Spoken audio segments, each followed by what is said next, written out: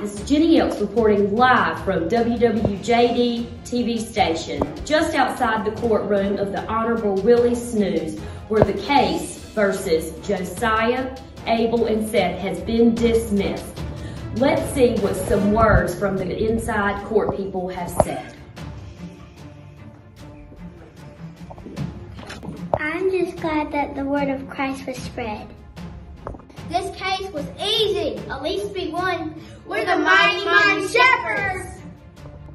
I think they got it right. Because everybody already knew about that night. Well, I thought the judge was quite rude. He interrupted when I was talking, and he was also quite too sleepy. My mama says I'm free. I thought it went both ways because number one, for it's wrong because you're not supposed to go around waking people up in the middle of the night. But the right side was they were telling people about Jesus.